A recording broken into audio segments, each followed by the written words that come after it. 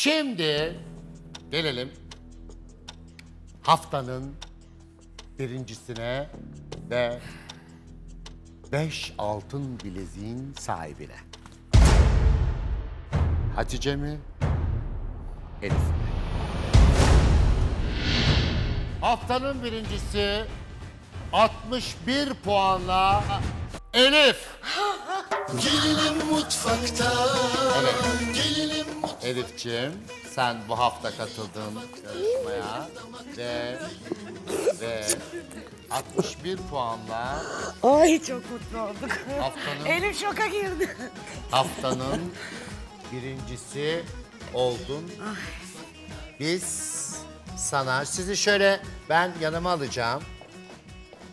Dün kayınvaliden bana prenses tacı taktığında e, Hatice bana dereyi görmeden paçayı sıvıyorsun demişti. Dereyi gördüm, paçaları sıvadım.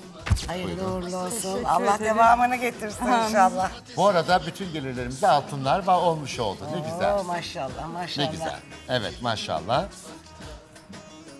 Koluna da çok yakıştı vallahi. Kırmızıya kırmızı. Bugün onun Evet, için mi güle güle. giymiştin kırmızı yoksa?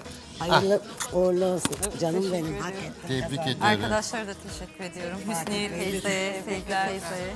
Ya bizim yapamadığımızı Elif'le kayınvalidesi yaptı. Oh canıma değsin çok sevindim. Hoş geldin ya yüreğime Boş ver de